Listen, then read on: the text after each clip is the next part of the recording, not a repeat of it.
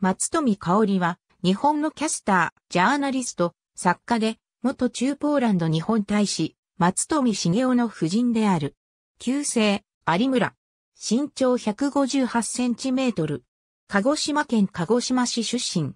鹿児島県立鶴丸高等学校、東京大学文学部卒業後、アメリカ合衆国、マカレスターカレッジに1年間留学。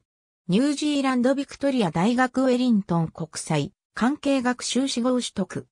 1983年4月、TBS にアナウンサーとして入社。1999年3月、TBS を退社。2011年、松富香織に改名。1983年4月にアナウンサー第20期生として TBS に入社。主に報道や情報番組で活躍。そんな中、かつて番組の企画として、ビキニ水着姿やレオタード姿を披露したこともある。TBS で同僚だったドラマプロデューサーの瀬戸口克美は、鶴丸高校、東京大学の後輩である。筑紫哲也ニュース23に、キャスターとして3年半出演。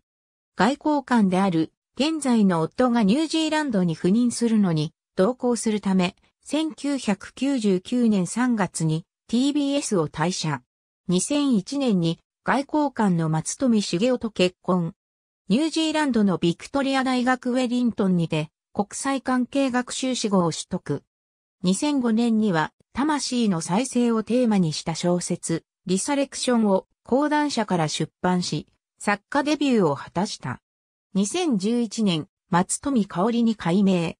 2011年6月頃までキャストプラス所属し、現在の事務所に移籍。2013年12月、オフィス経営に所属。2013年4月、10年後の自分のために、今すぐ始めたい36の習慣を、スバル社から出版。2014年8月、中イスラエル特命全権日本大使として着任した夫と共にイスラエルに赴任。2014年天皇誕生日レセプションには、振袖姿で登場。2016年2月、中ポーランド特命全権大使として着任した夫ともにワルシャーに赴任。ありがとうございます。